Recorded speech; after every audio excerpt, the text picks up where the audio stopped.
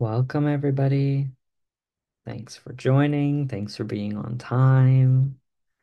We're just going to give this one more minute just to let Zoom, let as many people from that initial registration join us as we can.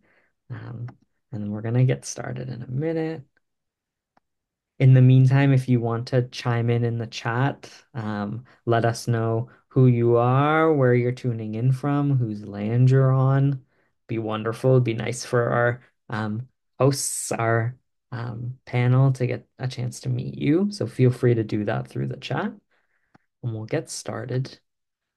Um, so my name is Ari Maharaj. I use he, him pronouns. I'm the Outreach and Education Coordinator at the National Eating Disorder Information Center.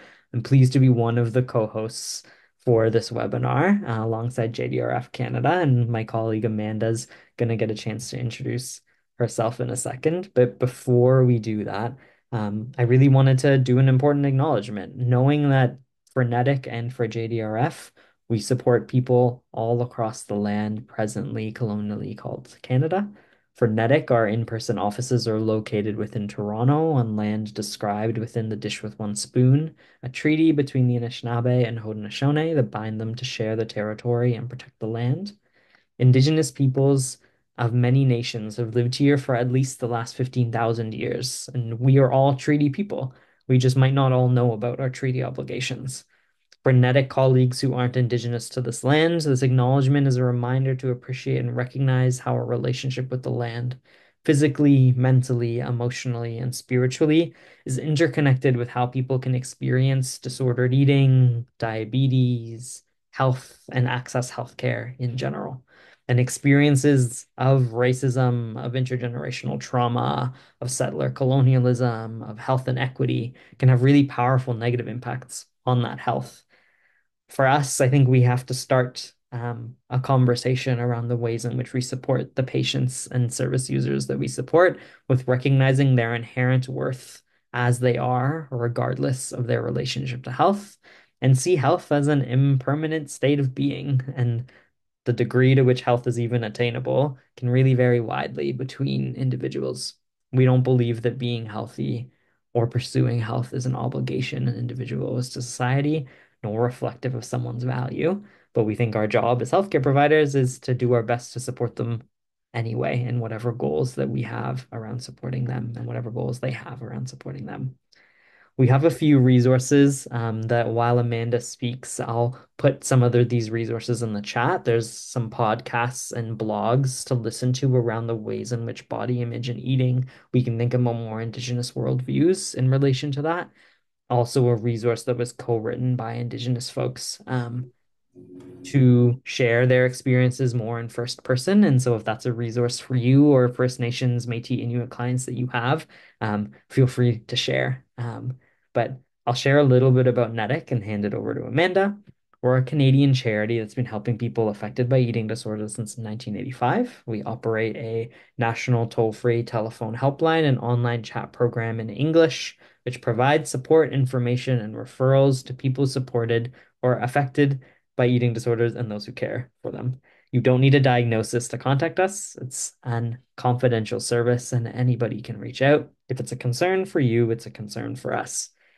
We also do workshops like this, really focused on prevention and early intervention. Um, a lot of our focus is with youth and healthcare providers and post-secondary campuses.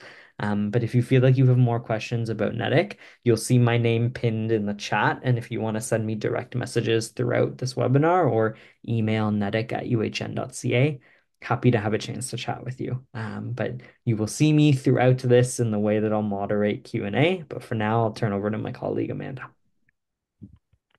Thanks, Ari. Hi, everyone. My name is Amanda Haleman, and I'm the National Manager of Mental Health Programs with JDRF Canada. And in addition to Ari, I'll be moderating this afternoon as a co-host from JDRF. Uh, so for those of you that aren't familiar with JV JDRF, we are the leading global organization that funds type 1 diabetes research. Um, and the goal of our research is really to improve the lives of all people affected by T1D by accelerating um, progress on the most promising opportunities for curing, better treating, and preventing type 1 diabetes. Um, so in late 2021, JDRF Canada launched uh, its mental health strategy in an effort to fund both new research in the area of type 1 diabetes and mental health, but also to help close knowledge gaps among mental health providers and healthcare providers, and really to engage the type 1 diabetes community to increasingly bring mental health into everyday diabetes care because we know this is a really big gap, especially in the Canadian healthcare system. Um, two of our big initiatives that we have, if you wanted to check them out, um, in collaboration with Diabetes Canada, is our mental health and diabetes training program. That's available at learn.jdrf.ca. And then we also have the Mental Health and Diabetes Directory, which is a directory of mental health providers that have actually gone through the training, that are accepting new patients, um, that have a baseline understanding of the impacts of mental health on type 1 diabetes and that's available at directory.jdrf.ca. Um, if you wanted to learn more about T1D and mental health, we have a section on our website under information for healthcare providers, um, including one document that's specifically related to um, recognizing disordered eating in people with T1D, which will be touched on a little bit in this presentation as well. Um, so the chat is open for you to ask questions. Thanks so much for um, introducing yourselves. I've been seeing them come in. And uh, if you do have any sort of tech questions, uh, Ari is available, like you mentioned, to answer any questions.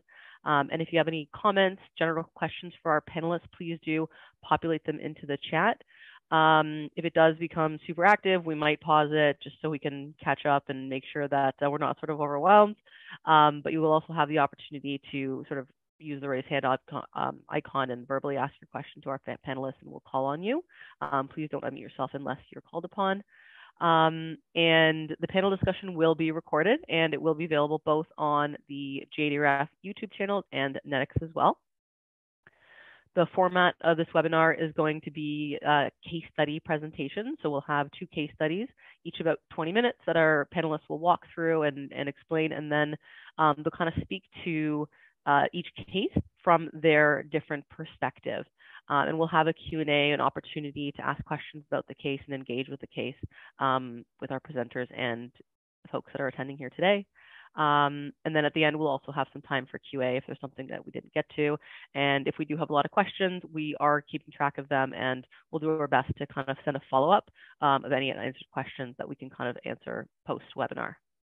Um, just a reminder to everyone, please do whatever you need to take care of yourself during this event. We know that there might be some surprising or difficult emotions that come up.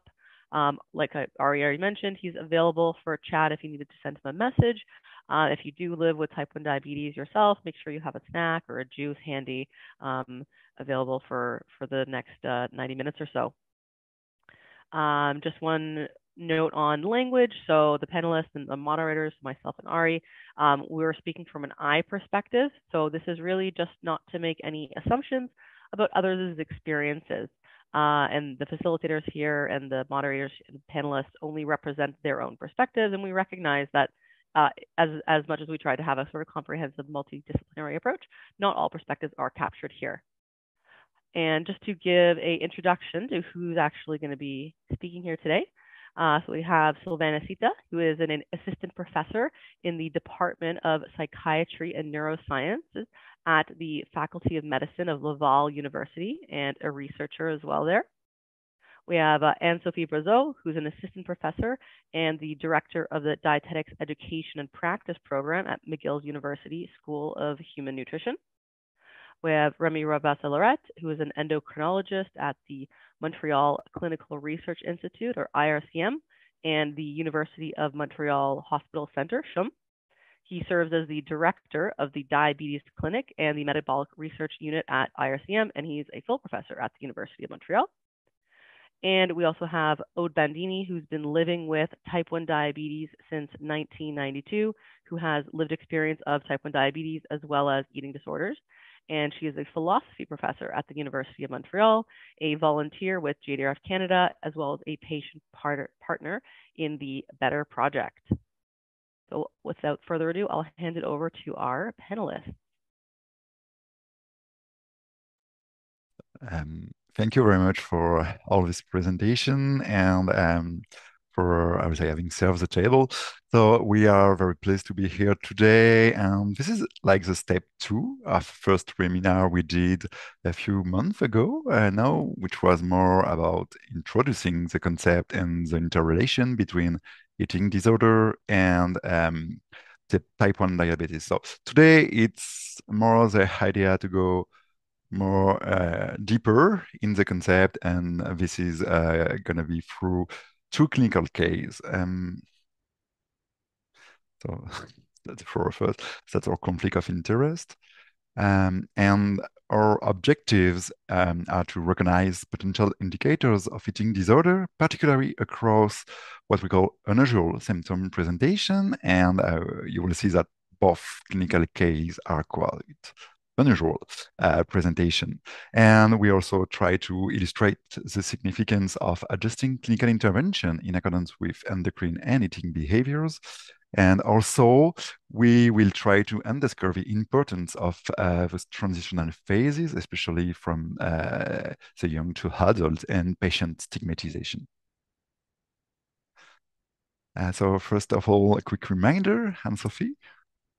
Sure. So since uh, today we have people that are more from the mental health uh, sphere, and some people are from the diabetes uh, sphere, we wanted to just do a little overview of of key concept about uh, type 1 diabetes and um, eating disorder. So type 1 diabetes, just to remind, just a, a little reminder that the autoimmune form of diabetes. So that means that there is destruction, destruction, destruction of the cell that produce uh, insulin. And so there's requirement for insulin admission daily, multiple time a day. Um, it can be diagnosed at all ages, but about half of the cases or a bit more are diagnosed during childhood. Um, people will requ be required to do blood glucose monitoring, so to look after their blood glucose levels as mentioned, insulin adjustment according to what they eat, the exercise, the stress. So there's a lot of factors that comes into uh, the daily management of diabetes. It's 24 hours uh, a day, seven days a week, 37, 365 days a year. So it's constant. Um, and we want to make sure that we manage blood glucose levels uh, to to avoid as much as we can acute complications such as uh, hypoglycemia or diabetic ketoacidosis, or also to avoid any or to to postpone or delay the, the onset of chronic complication that can be high complication, kidney complication, nerves complication. And so all that to say that type 1 diabetes requires a lot of self-management from the person that is living with, uh, and it will impact uh, the way they, they feel some uh, they, they feel some of their um, uh, they, they may have different feelings feelings for uh, when they are uh, hungry feelings when they have hypoglycemia and so we will discuss that today but we need to understand type 1 diabetes to better understand eating disorder that are related to, to type 1 diabetes. Anything I, to add? no, I, I would say at contrario, we have to better understand eating disorder, disordered eating to uh, better care uh, with individuals uh, living with type 1 diabetes. So, uh, just a quick overlook to the eating disorders continuum. Um, you know, a, a, core symptom traditionally described for eating disorder or, is body image issue, uh, meaning that your body image will excessively influence your self image, self esteem. And based on this uh, symptom, um, we have, I will say, two sides of the spectrum. The first one, which is more about eating restriction, food restriction, and the more illustrative disorder is anorexia nervosa, which will lead to uh, restraint from eating in order to decrease the calorie intake and to lose weight and more and more weight. And on the same aspect of the spectrum, we also have uh, orthorexia, which is more about eating under the pressure of law, uh, rigid law rules uh, on what to eat and when to eat. And um, a more desinhibited uh, eating disorder is bulimia. Bulimia is the recurrences of binge eating episode, which will uh, be followed by compensatory behavior, such as vomiting uh, or taking laxative or diuretic. At the other hand of the spectrum, we will have more uh, eating disorder, which is, uh, for one of the best examples, the binge eating disorder, which uh, will be the recurrences of binge eating episode without any compensatory behavior. Um, but uh, in this part of the spectrum, we will also have some compulsive eating, meaning eating repeatedly or during the day, all day long, or uh, grazing. Um, and what we have to understand is that beyond the traditional, most more described eating disorder that are anorexia, bulimia, or binge eating disorder, we have a full range of uh, behaviors that can lead or conduct to suffering, suffering uh, in people, in individuals. So that's what we call the disordered eating. That's um, more like I was, uh, what I just say, between the normal and the eating classical disorder.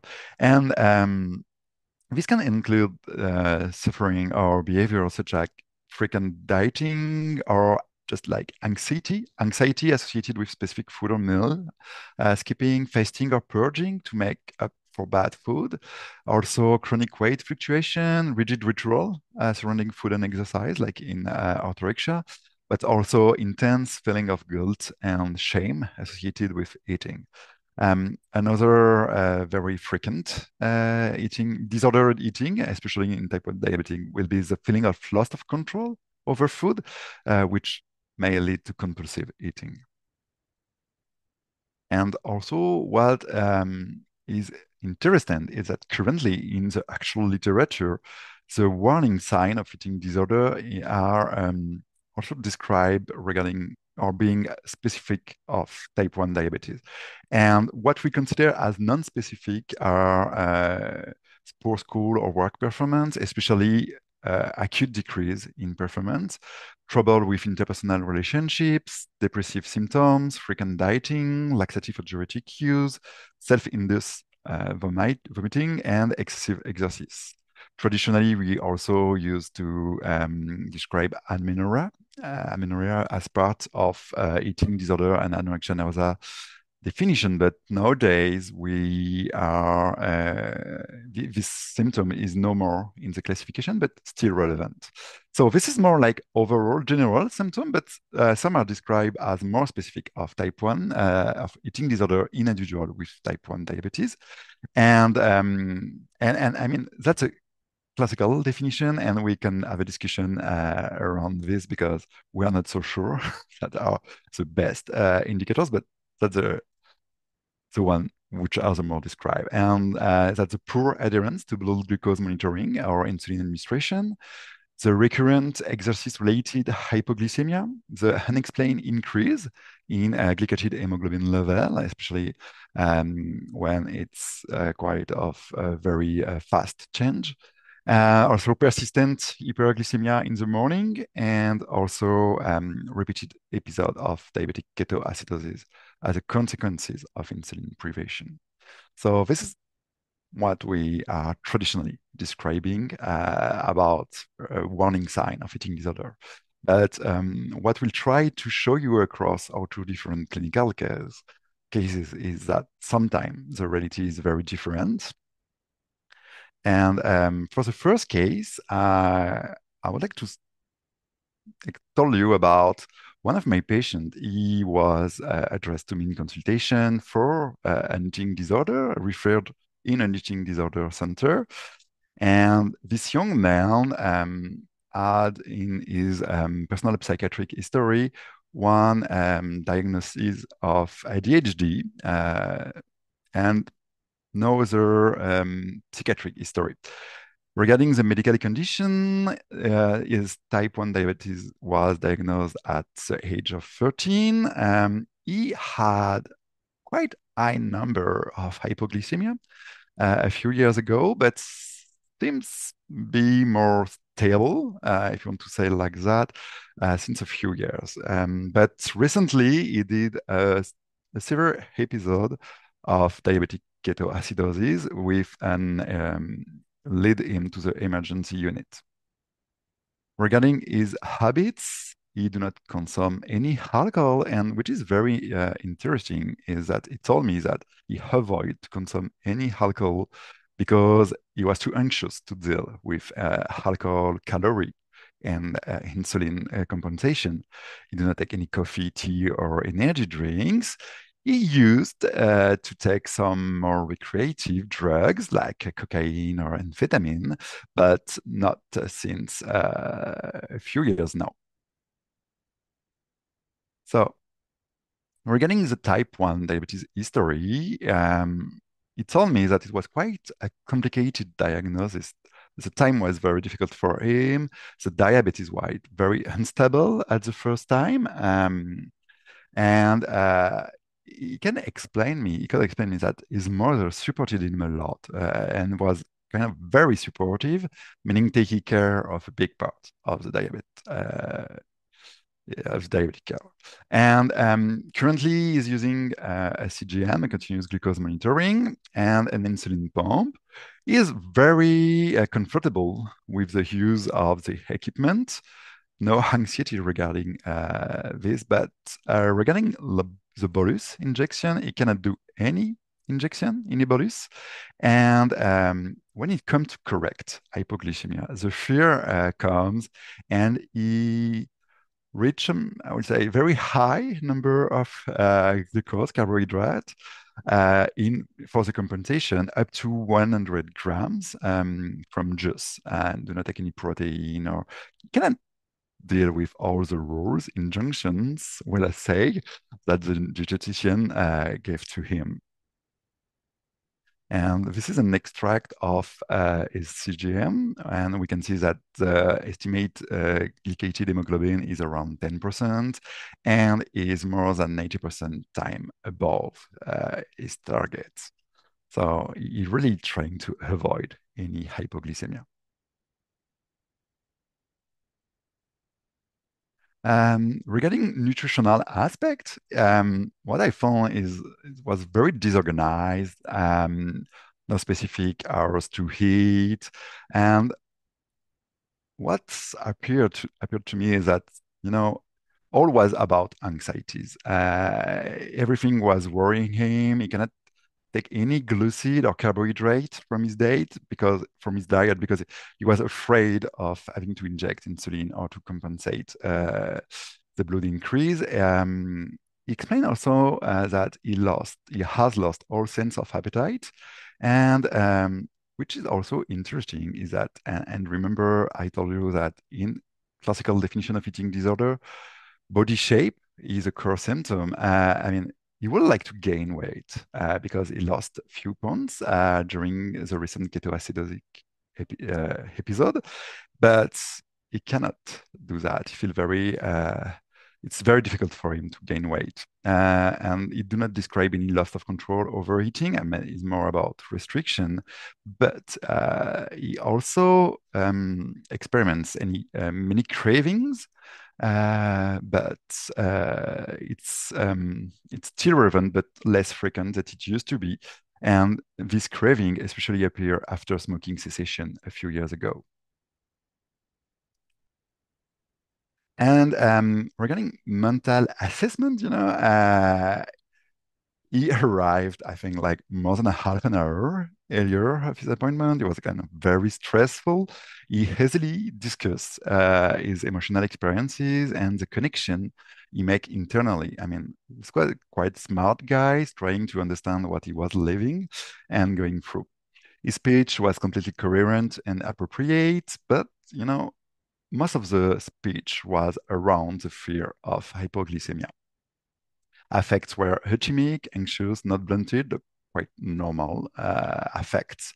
He described having had panic attacks uh, a few times before, and he have he had and still have this strong fear that this panic attack comes back again, um, and which worried me a little. I would say more as a psychiatrist that uh, recently he started to uh, develop some obsessive and compulsive elements. I mean, he uh, he avoid to change the color of his um, sweater due to the fear uh, that will disrupt his uh, diabetes. And he knows that was completely uh, the crazy, and that was used as a term, but you know, cannot avoid uh, this feeling or, or, thought. And this is really a symptom of uh, compulsive uh, disorder. And also other aspects, sleep, etc., everything was good. You know, it was very about, really about anxiety. Um, Before we go to the panel, yeah. um, Ari put in the chat that you had to Google Google what is euthymic means. Ah, yeah, um, that's true. so maybe you want to explain. yeah, sorry, that's that's kind of you know a psychiatric word. We love speaking another language in order nobody can understand us. Uh, I mean, euthymic means that the mood is correct, is normal. It's not sad, not uh, joy. Having a normal mood uh, with ability to uh, experiment different affect, different state of mode. So this this means everything was good regarding the mood aspect.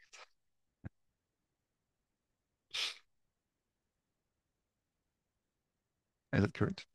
Um, so, I mean, this uh, Mr. Mrs. Mr. Hales was addressed to me for an eating disorder. I mean, but uh, as you may have already perceived, he was not really about a classical usual eating disorder. I mean, it's not an anorexia nervosa, obviously. Uh, it's not bulimia nervosa, but we can also perceive that there is a high degree of uh, suffering from uh, eating. So uh, I will ask to uh, my colleague, what do they think can happen uh, for Mr. Hales? And if you have any suggestion in the chat or feel free um, so maybe in the chat they can they can put what seems to be very striking to them or yeah. surprising about this case. Um, and and we can definitely discuss it uh, let, let me start silva and try to play the all grumpy doctor focused exclusively on, on glucose as you say as you know i am like this so is it an eating disorder or is it only a non-compliant patient uh, with which have some kind of eating behaviors with no relationship, no direct relationship? Actually, uh, maybe we could say he just have to take his insulin, right dose, and everything is going to be okay. And I'm voluntarily provocative for the ones who don't know me. I mean, what's a non-compliant patient, what you say? Yes, non-compliant patient, yes. Uh, non-adherent patient. Uh, he just needs to take his treatment at the right dose. Yeah, I, I mean, the, the, first answer for me is he rise up to my consultation. I mean, he wait to see me. He came on time, before time. So, I mean, he's a compliant patient. He's trying to get help. So you can just answer that. I, I love I love your I love your answer. So, but but uh, my, my point to, to the people listening is that in a lot of teams, he mm. would be labeled as a patient that is uh, not taking his treatment in the right way, and that would be the only the only main conclusion of the medical note. So I like the fact that the endo team here thought there was something else behind truly, Remy, you address um, what is a main concern for me, and I think for all of us here, uh, the same thing for eating disorder. You know, how many times I heard that you know patients suffering uh, from anorexia nervosa don't want to be cured, don't want to be treated, are non-compliant to treatment, etc. But truly, you know, we do not have a very efficient care in anorexia. We can say that. Whenever, I mean, by efficient, I mean right one pills solution. And, you know, patient came to our consultation, try to involve, and what we have uh, to do is to go behind first appearances and to find the way to address um, the difficulties, the resistance, if we call them like that, in order to care uh, of our patients. So it's the same thing for diabetes. I mean, no, it's quite easy to say, okay, just take protein in your collation and you will deal with your fear of hypoglycemia. it will help you not to have a secondary decrease. But really is not the case here. And we can see for uh, Mr. S, it's more about anxiety and fear. Yeah, there's actually a lot of question in the chat, the comments about addressing fear of hypoglycemia as a, a first step.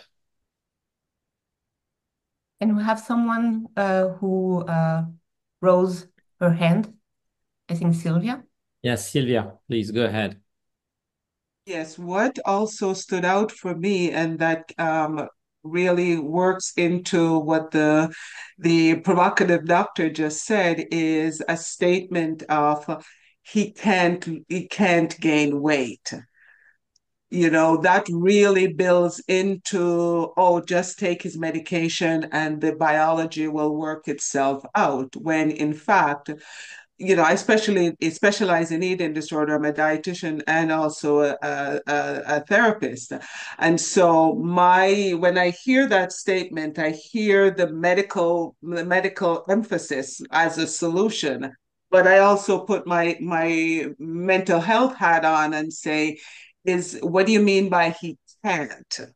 If we look at it from a mental health perspective, then we get a, a um, a deeper sense of the can't.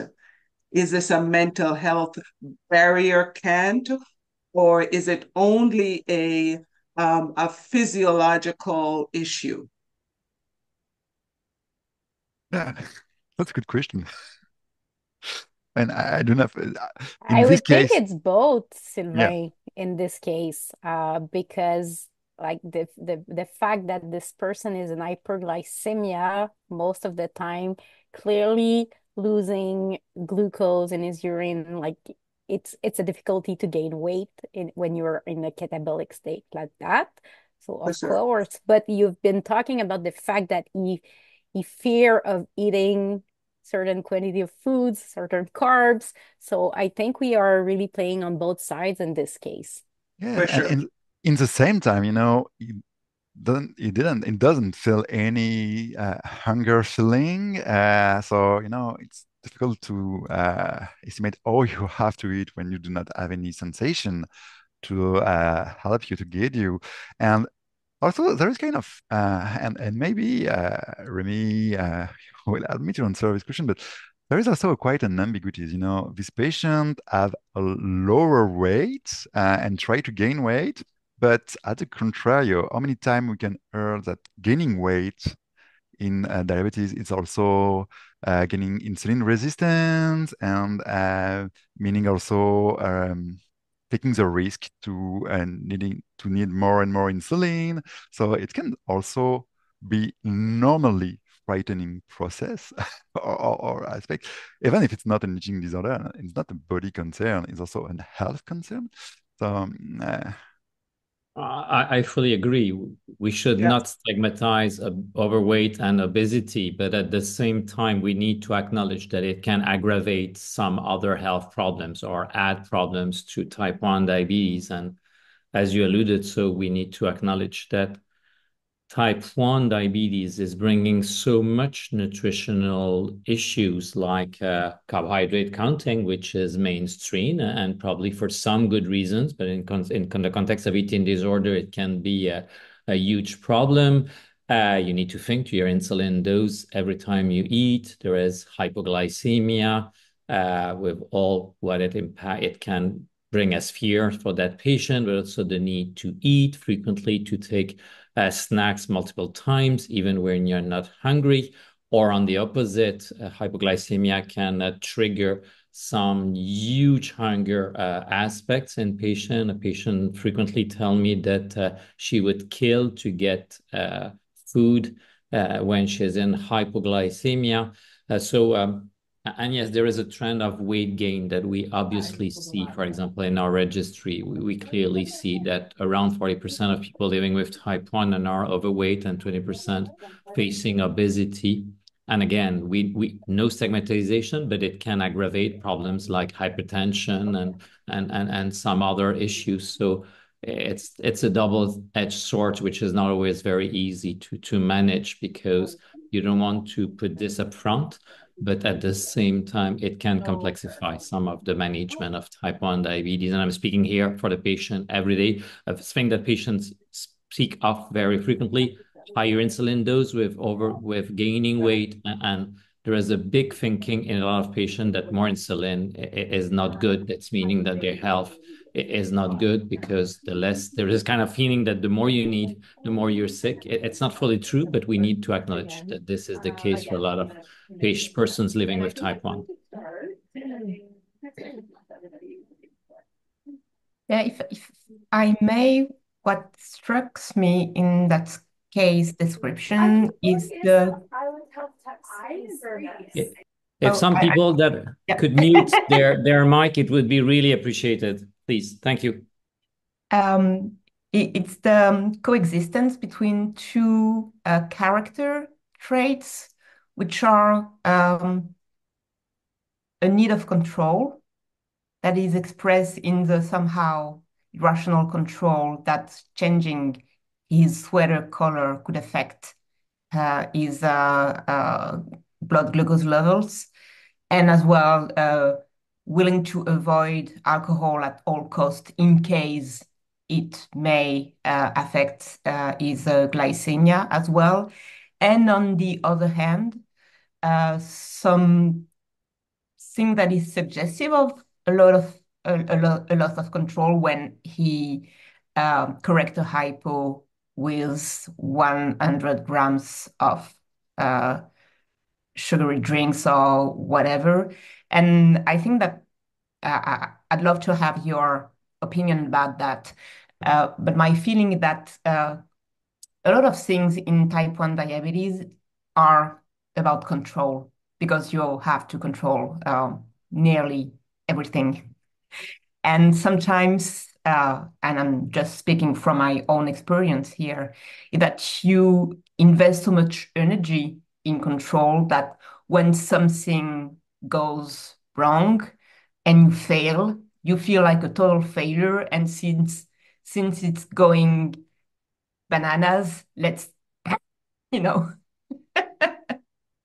and I'll go and I'll get back to it tomorrow or, or not. But per perhaps there is a, a question of balance between the amount of control that you are feeling obligated to stick with and sometimes the need for relief and you know not to worry that much and so forth and i guess that one may lead to the other which is too much control for certain range of time might get you to the wall and, and you and you will definitely crash. Yeah. Thank you put words on the difficulties of living with diabetes. Yeah, I heard about living with type 1 diabetes mm -hmm. of 40 last years. I think everyone should hear a bit more so we can understand like we will be better at understanding our patient um, if if we had experienced that just once. The fact that it's constant, it's all the time, and sometimes you need a break, but you don't have any break. Um, and it will interfere with mental health. It will interfere with diabetes management. It will interfere everywhere. Well, I, I guess for any um, both physical and mental health provider, -hmm. their uh, experience, personal experiences on which you can build, which is I don't know, uh, try to stick with a given routine. Go to the gym or um, take care of a minor issue, and you have to take a treatment even though you don't feel ill or whatever it's very hard. You have to think about it. You have to actually do it, even when you don't feel like doing it. Uh, so I, I, I don't think that it is so strange or alien to all of us. Just keep in mind for you healthcare providers, please keep in mind that we are human. Um, I'm, it, I'm seeing yeah. something in the chat. Oh, go ahead, Anne-Sophie, and then I'll ask a question I'm getting from the chat. Uh, I was going to, uh, to say that like a lot of people in the chat have said like we should address uh, the fear of hypoglycemia. Um, and I think it's interesting that this patient was referred by the diabetes team uh, to the psychiatrist for an eating disorder. And now we are discussing back to the fact that fear of hypoglycemia might be a key element. And so that's also speaks about the importance of having a very a, a, global view on what the patient is experiencing. And so I was going to ask Sylvain what he thinks about like addressing the sphere of hypoglycemia as something like first line. Yeah, that's very interesting because uh, I think one of the traits in this clinical case uh, uh, is uh, to fully understand the situation. I mean, Mr. Ayers was kind of children that grow up very fast and you, you spoke about control ode and he was kind giving a part of the control to his mother and as an adult he did not have access anymore to this reassurance uh, way to his mother as a, a counterphobic uh, will i say tools uh, and was just having to face to himself and um, speaking of this hypoglycemia. I mean, uh, and one question in the chat was about uh, going to explore when the fear starts, and that's very important because in this case, the fear of hypoglycemia starts in the same period he had to face a panic attack. I mean, both were at the same time for different reasons, and uh, he kind of memorized both together. So as soon as blood glucose variation appear, the fear of, of um, panic attack recidivisms appear. And as soon as anxiety rise, uh, grow up, his fear of having an hypoglycemia increase too. I mean, and um, I don't know by which we should start the care, but you have to address both. And in my case, as a psychiatrist, I mean, I start by anxiety, overall anxiety, because you also have more generalized anxiety and this um, OCD symptom, uh, obsessive compulsive disorder symptoms that appear. So, uh, I mean, I was more comfortable to start by uh, treating anxiety, uh, but indeed, going in a deep comprehension, in a true discussion with the patient is the best way to find, um, I mean, say the best treatment option, will I say? And uh, you have to really have this discussion with this patient. Uh, uh, you cannot choose for them. Yeah, I like Sylvain noting that even the focus on anxiety. We have um, someone in the chat, Caroline, noting as diabetes educators, I think we're sometimes so trained to focus on hypoglycemia related issues that we might be tempted to focus on that fear to the exclusion of other potential issues like control, like Ode mentioned, or the food restriction, like the avoiding carbs to reduce insulin needs and therefore maybe injection injection frequency. Um, so yeah, I I appreciate the linked conversation that we're having here and and the comments in the chat. There are two um, folks who raised their hand. Um, so Sylvia, I'm gonna go to you and then Natalie. I'll put you on spotlight and then we'll have some final comments about this case before going on to case two. So yeah. Sylvia, let me go ahead. I was just um, I I want to um, 100% agree with Sylvain, and I think it was Audie because we are not just looking at um, a symptom or a disease. We're looking at a whole person. Um, and so by the time that the person comes to you, and I think this person was were showing symptoms, they were um, a while before they actually got diagnosed. That person then, and even you know months and years later, they're dealing with a whole myriad of life. And I think the idea of um, looking at really analyzing control is not only about the the um, diabetes itself, but it's life in general. So I really, really like that larger, you know, looking at that person as a holistic person who comes with all the challenges of life in addition to or as a result of or emphasized by the um, the diabetes and the the need for tight control or else. sort of a thing. So that's that's really I I mean again remember I'm a, I'm also a, a dietitian so I'm not ignoring the the um, physical health piece but so often that mental health piece gets lost. And I'm going to keep coming back to that and I'm sure Sylvain will help me with that. Thank you. Thanks Sylvia. Panel, anything you want to say in response to that before we go to Natalie?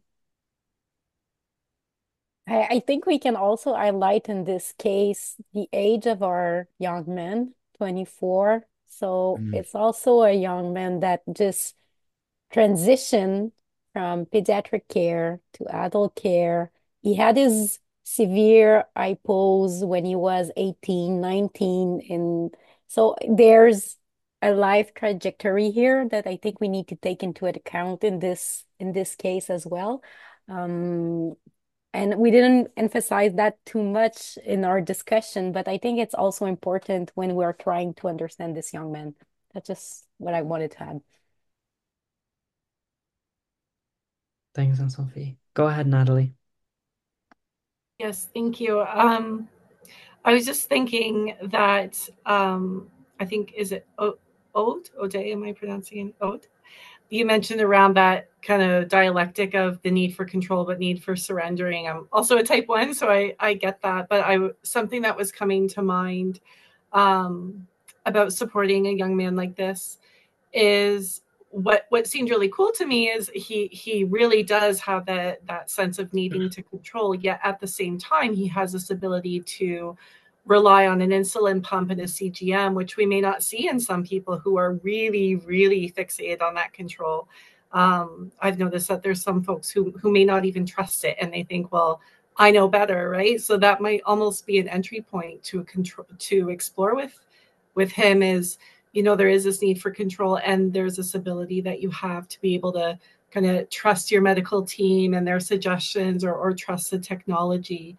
Um, so that might be one thing i might lean into um, as well to really just kind of bolster up the strengths that he does have and, and ways that part of him being able to control things is also surrendering and, and allowing the um, what the recommendations have been for his treatment as well. Sylvain, may I ask, in, in the interest of the audience, is the fact that he is a male typical or atypical? Can you comment a bit on, on, on this? There's a higher prevalence of eating disorders. We admit that he has some eating disorder in, in women usually. I mean, I'm not convinced he had an eating disorder. Uh, maybe a disordered eating, uh, and and not um, classically usually the, the sex ratio uh, is higher in women than men uh, for I mean almost all eating disorder, with uh, a higher uh, sex ratio prevalence for women in anorexia nervosa, and this quite smaller sex ratio difference for binge eating disorder, but eating disorder are more frequent in women. And I will say also they are more frequently diagnosed in women. And we have to keep in mind that even if more frequent in women, not only uh, women can suffer from eating disorder. I mean, uh, and maybe to conclude, because I, I know time is going, uh, and regarding the psychiatry diagnostic, um, it, it, was more about uh, for, regarding my diagnosis. I mean, uh, more about uh, a specific phobia, fear of hypoglycemia. Uh, I will say non-specified anxiety disorder around uh, beginning of obsessive compulsive disorder, which was more uh, wondering me, and also ADHD.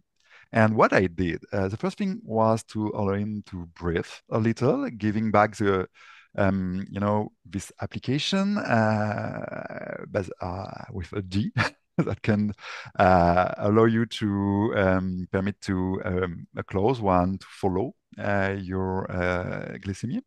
So he did so with his mother, and we named that was not the best solution, but it was a good way to breathe a little and uh, so we did that. Also, a lot of psychoeducation about panic attack. You know, you don't die in a panic attack, you survive, and uh, trying to also explain how the symptom of hypoglycemia can be the same than uh, the anxiety, and you have to learn how to make the difference if possible, because it's not always possible also to say that.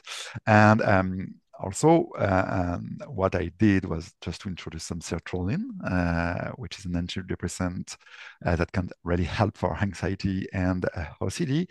And honestly, it was really efficient and very helpful for him because he can regain take control, even if I hate the control term, but uh, regain some control in his overall life by decreasing uh, the level of anxiety and uh, being able to deal again uh, with this uh, fear and uh, helping to be more in his with his diabetes, if you can say that. So that was my intervention for this patient. So you mean it's not really about, for me, eating disorder as classical definition of eating disorder, but real preoccupation and suffering from uh, eating we have to take care of. So we can go to the next case. Remy? Yes. Okay. So let's uh, discuss another uh, unusual uh, situation. If you can, uh, am I allowed to move the uh, slide? I think yes, you are. I am. Okay. Sorry, can, I missed. Can you try? Let me check this. No, it doesn't seem I am able to okay. move the slides. I if will do the job. Please, uh, Sylvain, thank you. Um, so uh, it's the case of a woman who was referred to me not very long ago, a few months. Um, she's in the end of her 40s, uh, and she's transferred by a colleague. And from the beginning, it's a bit difficult because I know that colleague follow a lot of patients with type 1 and usually I don't have referral for type patients living with type 1 from that colleague. So, but you know, it's request for transfer and uh, we take it. So she's been living for, for diabetes for, for a long, a few decades. Uh, she have a very small retinopathy and a very small microalbuminuria. It's better to have none of these, but it's not major complication. All of this, we know now that we can control them. She have epilepsy now uh, for more than three decades. Uh, you know this can be intricated with type 1 diabetes specifically when there has been history of repeated severe hypoglycemia. But this was not the case here. Um, no alcohol no tobacco. She is very exuberant from the first uh, meeting and she tell me that she walks every day 10,000 steps a day and then she monitored this on the top of monitoring her glucose levels. Next slide please Sylvain um, never had any severe hypoglycemia or ketoacidosis. She used a CGM with alarm. And for our colleagues coming from the eating disorder, now in the type 1 diabetes world, at least in the one that are have access to a, a few information, it's around two thirds of people that uh, use a continuous glucose monitoring which can, at the beginning, trigger some eating disorders or at least concern about food when you can see the the the wings, uh, the, the fluctuation of glucose. But usually, a lot of patients after a few days believe that there's far more advantages than disadvantages around having a continuous glucose monitoring. It's a little device who measure glucose under the skin. You maybe have seen frequently worn on the arm, but not always. Um, she's using multiple injections, so that usually means four injection a days. Uh, when you have a patient for the first time, whether it's a transfer from the pediatric world or a transfer from another colleague, it's always good to have a few questions about uh, basic knowledge, not to judge the patient, but just to assess, not to estimate that he, she, because she is living for decades with diabetes, knows everything about diabetes at the same time, we absolutely need to acknowledge that the patient knowledge is sometimes far higher than ours. So there is kind of a yin and yang here uh, to manage in, in a first uh, appointment. Um, she is really very exuberant. Um, she speaks a lot. And she live a little stone that I neglected at the beginning, but I, I took it in my note. She said, you know, by the way, uh, I recently had to redo all my teeth uh, because of type 1 diabetes. She actually mentioned that she had to take uh, she, she she had to take money from the bank for that, and that she's now having a very significant death. And she's telling me that she's happy about the transfer, but still not very clear for me uh, why she was transferred. Her most recent labs are exactly what you would await based on her medical history. Her blood pressure is correct. Her BMI is there. She still mentioned that she had a lot of judgments about her weight uh, uh, uh, during her history, starting from the pediatric, that she should not gain weight with years, that that's bad. Uh, next slide, please. And here is her glucose profile. We are at the opposite of the case. Uh, presented by Sylvain. Everything is absolutely perfect. No hypoglycemia, 87% time in range. For those who are not aware of this, we are aiming for above 70%, and 1% of the time is 15 minutes from a day. So this is a what, oh my God.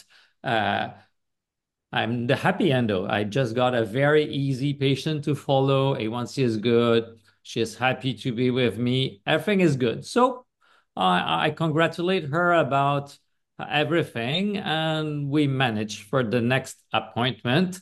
And she leave my office relatively happy. I'm a strange doctor. I'm giving my email to patients. I'm following some from very remote location. And the next morning I have three emails. So I said, oh my God, I'm going to have to do teaching about how and when to use email with me. But in all those emails, she's asking for semaglutide, also known as Ozempic, uh, to help her to manage her diabetes. And, and there's a big, specifically in the social media, uh, there's a lot of things around Ozempic. There is also maybe a space for Ozempic for some people living with type 1, though most of insurance, public or private, would not acknowledge for this. So rather than to start what I call the ping pong email, I propose a, rapid new appointment, far better a few weeks rather than a few months after uh, I met her. And there, she's not the same person. I saw her three weeks ago and she was exuberant and happy. And there, she seems to be extremely uncomfortable. And so I come back in a little stone that I completely neglected at the first thing because I wrote my I read back my notes. I said, "What about speaking about the thieves?" And she said, "You know, actually, I am a master of controlling my glucose with uh, bulimia and vomiting. Actually, I lost all my teeth because I am vomiting three or four times a year, and I know exactly when to vomit and how much insulin to do based on what I'm going to vomit to keep a perfectly normal blood sugar. So she have binge eating, she then vomit. Uh, there's obvious anxiety there. So it's kind of Dr. Jekyll and Mr. Hyde. The, the, the thing completely uh, changed. And and then I, I, I the question that I didn't have exactly the good answer at the beginning because I also asked, say, well, Coke, why have you changed? She said that she tried to discuss this issue multiple times with her team, but that she was always considered as the perfect patients because the blood pressure, the glucose control, the lipids, and so on were all in good order. So that is the main focus of diabetes treatment. It should be not only the only focus. So uh, we are having a perfectly normal or optimal blood glucose control in the context of bulimia and vomiting in in that patient, which was I, I completely neglected at, at, the beginning. I mean, she, she didn't disclose it neither, but you can you probably understand that getting to a new team, it's not very easy to come and raise the flag and say, "Oh, by the way, I have a major eating disorder uh, and I'm not the good patient." So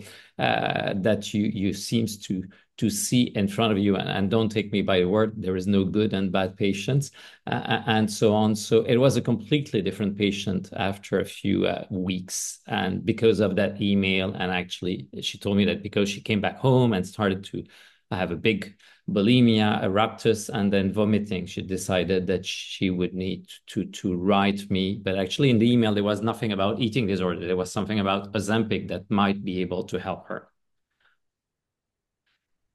Okay, Sylvain, so let's maybe discuss about uh, this uh, unu another unusual case. And maybe we can do the same as before. If anyone in the chat want to put whatever they find striking about this case, uh, feel free to uh, to comment. Um, for me, uh, I think what's what was interesting is that we often in the diabetes world, we often focus on glucose management. Um, and this is a high opening case where we need to go beyond those glucose numbers. Um, and I think, Remy, the way you invited her to reach out to you, you kind of give her uh, room for her to express herself. Um, and you you you went beyond the the number, not necessarily during the medical appointment, but you gave her room to go there with you. And I think this is um, it's a really interesting case. Yes, it's kind of below the surface. You know, the surface, everything was going fine, it's a bit like the little duck analogy. Beyond there, there is a, a lot of. I, I must say that I remember some of her words. Uh, words, sorry. Uh, most of you, you have a four different French accent. It's probably hard for the Anglophone here tonight. But uh, so uh, words and not world. Uh, she, she was speaking about feeling guilty and, uh, and, and also about uh, the pain she had. Uh, she was suffering from that problem. So she was really looking relieved that at least she was able to address it in a context of a new team and I believe sometimes it's good that a patient change team. It's not always easy, but sometimes that's it's it's it allow a new start. And this is you know especially and very important because um, to create a secure space is sometimes difficult for us. And I mean, even if everything is perfect, you can just say, okay, do not speak of anything else. You know, that's sometimes the message we can involuntarily send to the patient. And I mean, you reach to create a secure enough space in order to send you email on the next day and to allow her just to say, okay, everything is not perfect. And I think this is very important for us as a physician or a dietitian or any health practitioner, you know, just let a space for the patient to say, okay, uh, have you anything difficult to face that we did not address? Have you any things that bore you during your day long or anything you want to speak we didn't address today. And i always finish my consultation by this i mean sometimes you think we have go through all the things uh, you are that are important for you. And uh, you can take five minutes more to speak of that or replan a new appointment. And this is very important and actually, it's, you're speaking about the end of the consultation, but I believe it also started at the beginning of the consultation when you ask a patient, "How are you?" Yeah, you need to take time to listen to the answer. It's it's not only a, a way to say hello. Uh, you really need to to say this. Uh, uh you know, when I see younger resident, as people can see, I'm not anymore a young physician. Um, they, they, are all very good on, on diabetes management in terms of technique. They, they are really well trained. But having known how are you and taking time to listen and also understanding that judgment have never helped anyone uh, in any case, far beyond eating disorders.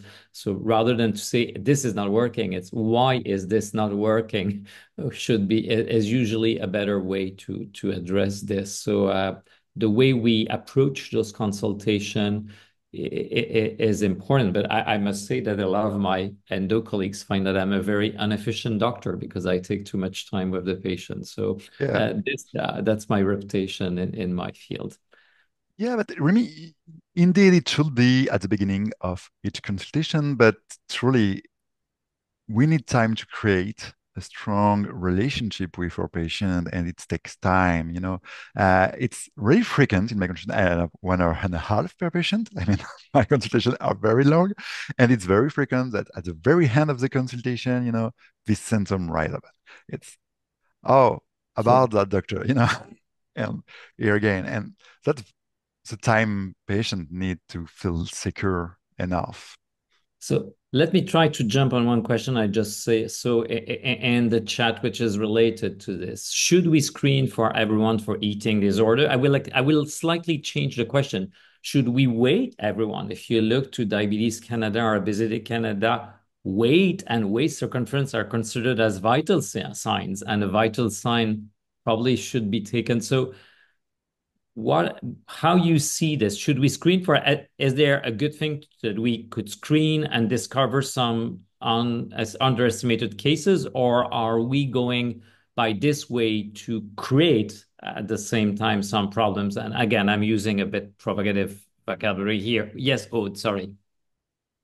Yeah, well, um, for a long time, that's what my um, endo team used to used to do. Uh, blood pressure, uh, readings of uh, glucose levels, and uh, weight.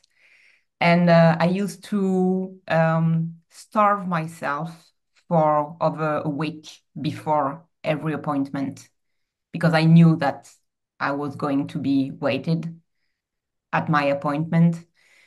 So I would say no. because uh, it puts it may put a lot of stress uh, on the shoulders uh, of the patient, and uh, and that's something else I wanted to mention.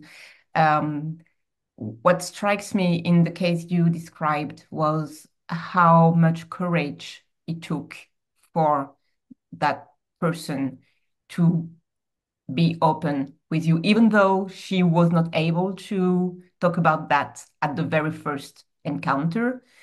But well, uh, you are in a, uh, an appointment about diabetes, not about mental health. And we are so used to have people in the diabetes world not really knowledgeable, neither uh, comfortable with addressing mental distress. That in in the setting of I want to be a good patient, uh, I want my diabetes care team to like me, so I will put the better face I can, especially on the first appointment, and living with um, especially I guess with um, bulimia uh, rather than perhaps uh, orthorexia or anorexia. Um, overeating is a, somehow the worst you can do when you live with type 1 diabetes. So it's very shameful because you know that you are hurting yourself very badly, even uh, if in that case uh, the, the person was able to make up for the glucose intake. But I mean, she lost her teeth, all of them. And one question I was wondering uh, while uh, listening to you, Remy, was did she come up with the diagnosis of bulimia by herself, or did her dentist mention that? Because I get that perhaps the dentist may uh, have seen a red flag there. So you gave me a good occasion to see something that that wasn't that case, but that we see frequently. The dentists say that she lost her teeth because of type 1 diabetes. You can have gingivitis very severe sometimes in diabetes. So there's a tendency because the type 1, I mean, all the form of diabetes, but we're speaking type 1 here, can potentially damage everything from the toes to the hair. Uh, there is an over tendency in the medical community to say, oh, this is about your diabetes. And, and, and roughly every half day, I intervene with a patient. I say, you know, at least based on my experience, I don't believe type 1 diabetes is there. You, you can have two diseases at the same time. Unfortunately, you you can do this. So that's a no. The dentist, I, I asked the question, and the dentist did not raise anything. Uh, she said he took. She said she did a good, great, great work, and took a lot of money for that uh, which doesn't mean the dentist was not good, but uh, she, she she she's worried. She have a debt at the bank now, so it, it's it's an important thing for her. I'm just gonna unmute really quickly to say that Remy's also answered the question that we got around should a check for eating disorders be a part of every visit? Partly he did that out loud, but he also added in the chat just for the recording for people who won't see the chat. He says maybe ask for permission about measuring weight or speak about an eating disorder. And at least to us in the eating disorder space, something that we've especially been thinking of recommending more and more when a semaglutide or Ozempic is being part of a conversation is as part of that conversation about that medication. Potentially, that's a nice hint to say, let's screen for an eating disorder at that point. Um, and like that might be a potential means. Uh, um, yeah, and, and why and why having um yeah and why having semaglutide is so important for you right now? What's the urgence to uh, get this medication? And and to answer to the question, I try to never wait my patient. You know, I have no scale in my office, but it's quite easy because part of the hospital, some other do it for me. But I mean, I, try to avoid uh, any waiting, and and moreover, I will say, I try to avoid any comment about weight or shape variation in my professional or personal. Personal life. I mean, if you try to comment the weight of anyone around me, it will be a quite hard time for you. Uh, and it's very important. But I, I'm very welcoming uh, any comment from the patient about his weight, his or her weight variation. I mean, if it's if it's a concern for the patient, it's a concern for me. If it's not a concern for the patient, I don't want to address such a subject. Uh, but I'm a psychiatrist. it's maybe easier for me than for the endocrinologist, but um, just, I mean, just think, is it really a need this day to wait my patient or to speak about weight variation right now? Uh, do I really need that for my medical, uh, on medical purpose? I mean, uh, and regarding the screening of eating disorder, I mean, yes, should be part of every initial clinical assessment, I, I will say. And um, uh, maybe not saying, are you suffering from anorexia nervosa? I mean, there is other way uh, to ask the question. And have you any concern regarding uh, your eating habit? Are you suffering from your relation uh, to food or to eating uh, habit? now this type of question are quite open and maybe uh, very successful uh, to offer a good opportunity for the patient. Maybe we can add that like prevalence of disordered eating behaviors or eating disorders are higher in, in type 1 diabetes Yeah. than in the general population. So there is definitely a need um, or indication to to try to screen for that. Um, that's one thing. And the other thing I was going to add is just like we said before, yes, we often tend to say that it's more women, but we also see a, a good number of men. Uh, and potentially there's more, but they weren't screened for. So um, just to to stay aware. I'm gonna read this comment from Lauren in the chat to see if the panel has thoughts on it. Um, Lauren notes, I see so many challenges for this person as they work on their recovery journey. Once they reduce slash stop purging, their glucose levels will likely be all over the place, as the binging will likely still be present even if reduced, and they will no longer be the perfect patient. This will likely cause or contribute to a lot of distress, which could increase eating disorder behaviors. Any thoughts on that as a panel? Actually, that patient is now worried about gaining weight uh, because she said, yes, I, I, might be able to control better my, my bulimia, but will I gain weight? And, and this referred to some of the comments she had in the past about the importance of not gaining weight from her pediatric follow-up, I guess uh, plus the social pressure and so on all around. Yeah, and again, gaining weight is also really part of the diagnosis of uh, eating disorder. And this also answers to a question in the chat: Is it in this case an eating disorder, or this is a specific eating disorder of type one uh, diabetes? And uh, I think that's challenging because you know um, the the most validated tool for uh, treating to treat eating disorder is the cognitive behavioral therapy from Fairburn. And in this therapy, we will ask patients to eat every four hours. And you know, this is very difficult uh, when you're suffering or living with a type 1 diabetes. I mean, this is this I'm, I'm just thinking that it's imply getting more uh, insulin compensation is how will I deal with my collation, which type of collation of food intake. And our current uh, program for eating disorder are not, uh, I think, adapt to uh, type 1 diabetes. Um, but at the contrario, focusing only on kind of specific, very different eating disorder may also, you know, uh, may also be challenging uh, or maybe another because we will miss all the transdiagnostic aspect of eating disorder. So yes, we have really to build uh, some program and culture.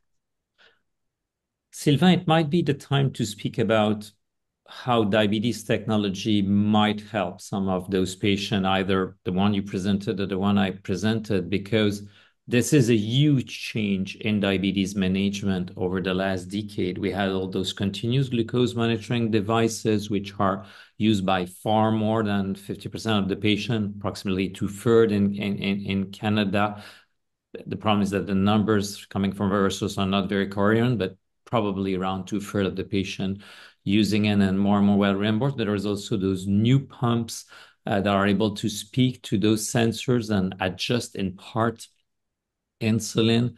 Uh, so from the endocrinologist point of view, it is less hypo, it is less hyper, and some less burden. Uh, doesn't mean that the burden is not there anymore, but there there is a reduction of burden which remain quite high. What is the point of view of maybe you, Sylvain, and Aude around uh, what those diabetes technology can can help, or can they relieve some of the eating disorders?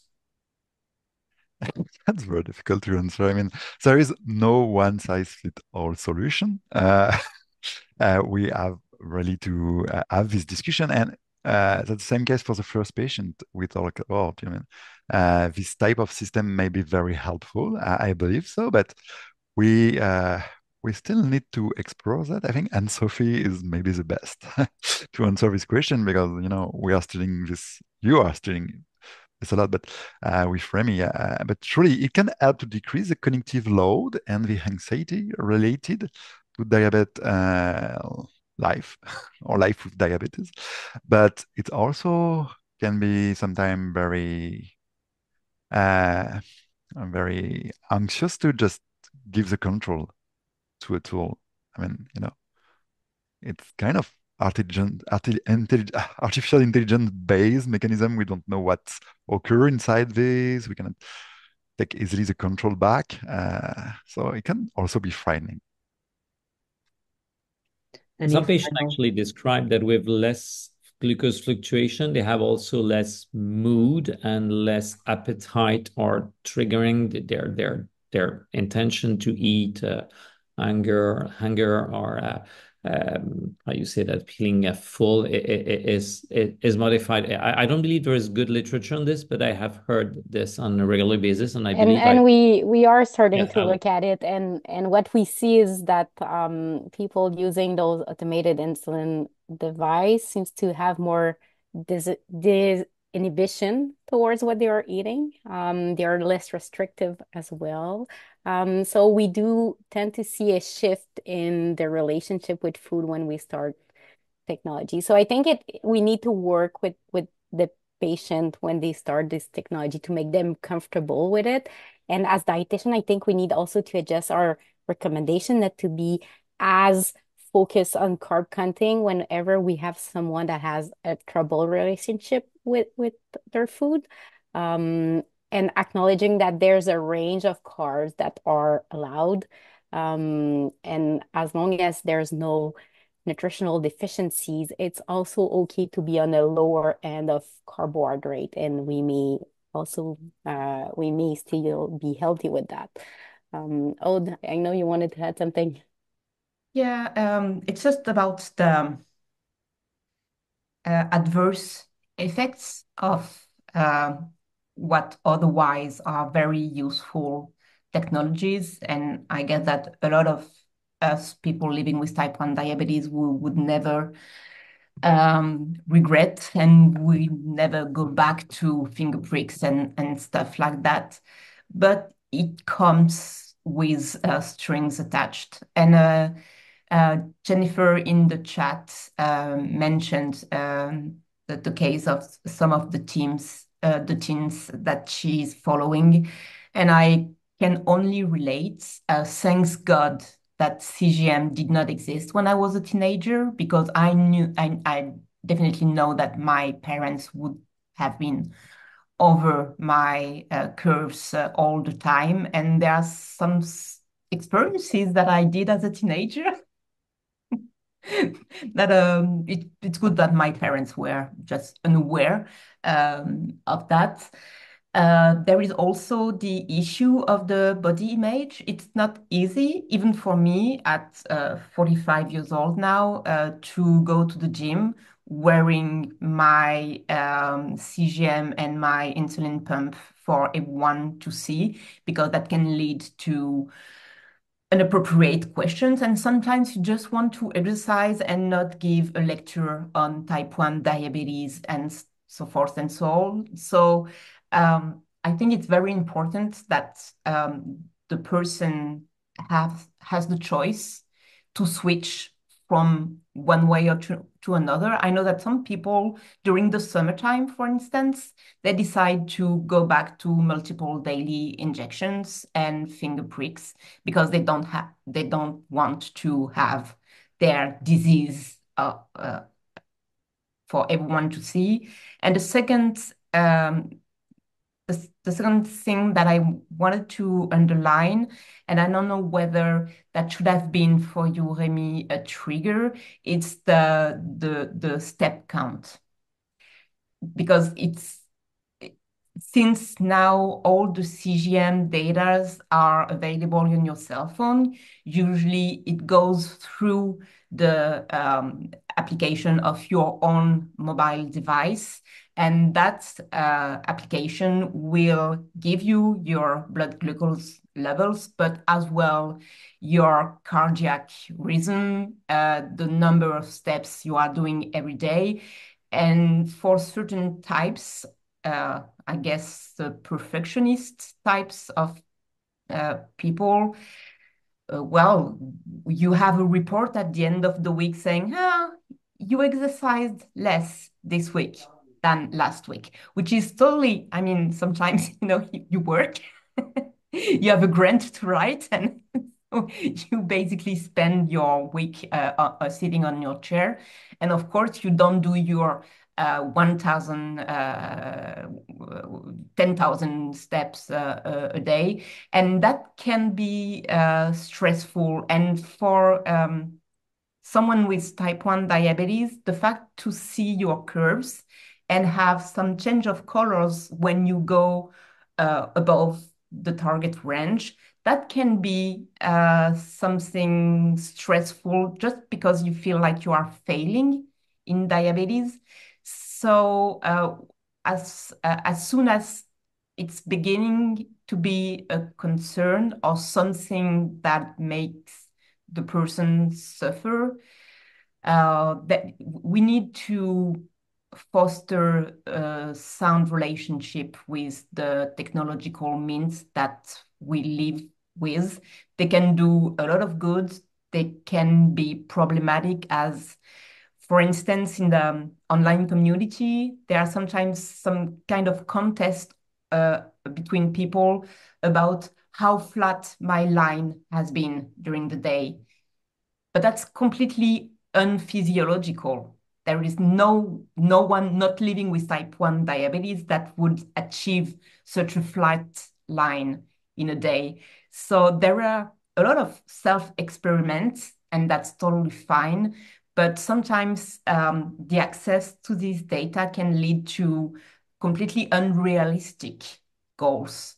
And of course what happens with this kind of goals is that you fail and you feel like a failure and that's a that's a problem so that's a very good point to remind that even a non-person living without diabetes will never have 100% time in range. The problem is going to be, I mean, uh, NEDIC is going to have a lot of work because those sensors now are available, at least in the US, for the general population. They are people. There is actually a French uh, American girl who have more than 5 million followers on Instagram which is preaching for a flat curve. So we are going to create a, a, lot of issues. There was another issue mentioned uh, actually is access and reimbursement and cost. It can be extremely costly when it's not covered. So you're absolutely right. Because we are close to running out of time. I see Jennifer actually uh, has raised her hand.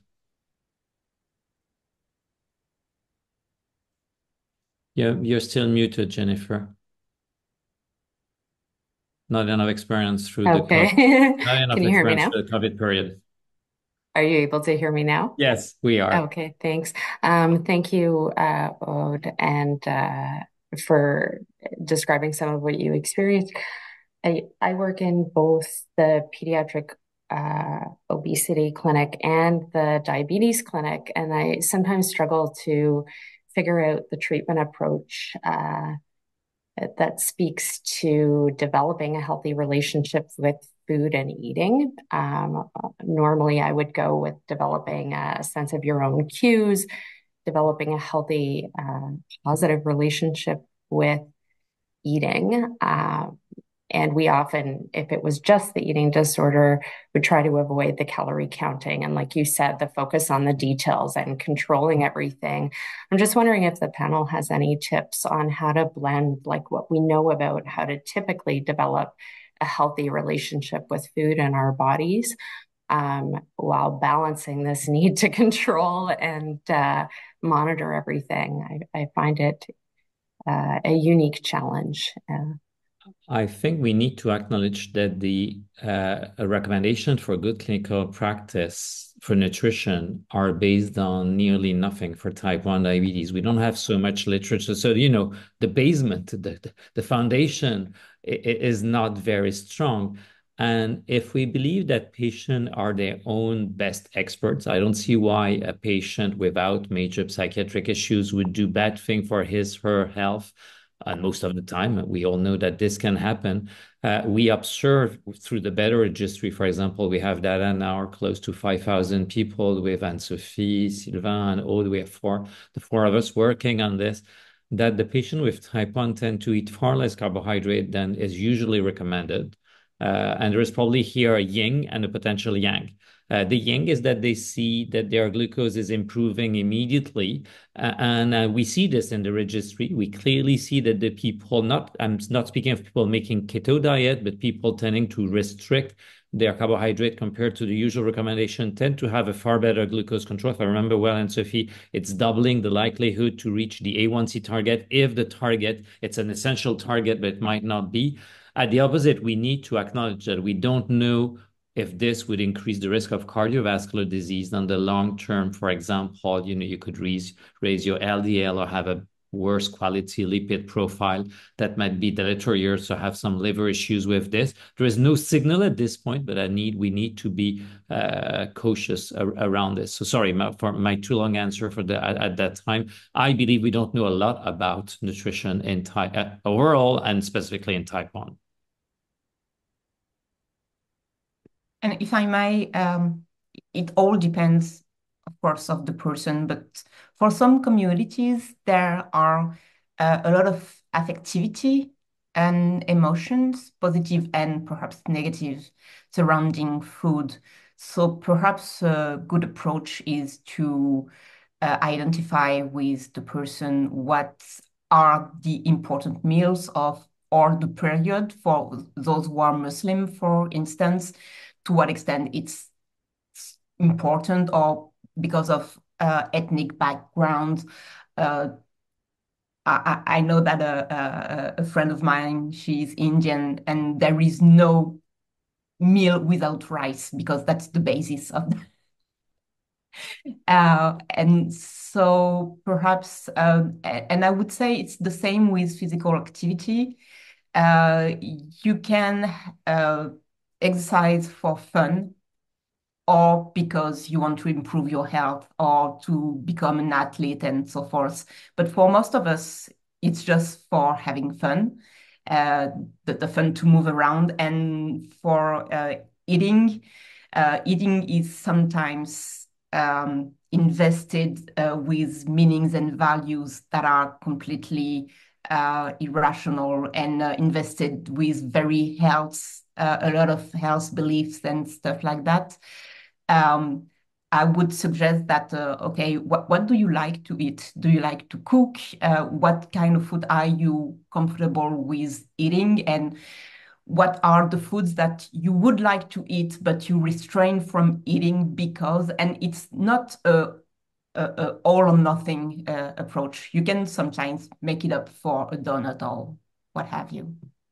Sylvain, can you switch to the next slide so we just wrap up, please? Uh, and I'm a culprit of being a bit late. Uh, so for me, uh, that patient had bulimia. I, saw some people challenging this in the chat, and it's perfectly normal. I don't believe there is not a blood glucose. It's not diabetes. Psychiatric disorders is not like diabetes. You cannot diagnose this this with a, blood thing. So we went really for crown reassurance. We changed the follow-up pattern for her. Uh, we had a quick referral. And I, must mention that in some cases, outside of Health Canada indication, with no endorsement neither by NEDIC, which I did not discuss with them, but I am quite sure by this, and JDRF, there are some people tremendously helped by Ozempic outside of the classical indication. In those cases, we, we need to better refine who is getting this or not getting this. And my point here as an endocrinologist is this should be done with the mental health team hand in hand here. There are some patients really benefiting from these drugs beyond what Elon Musk, Oprah, and so on people told about that drug, not to lose a few kilograms before you take your bath suit to the south.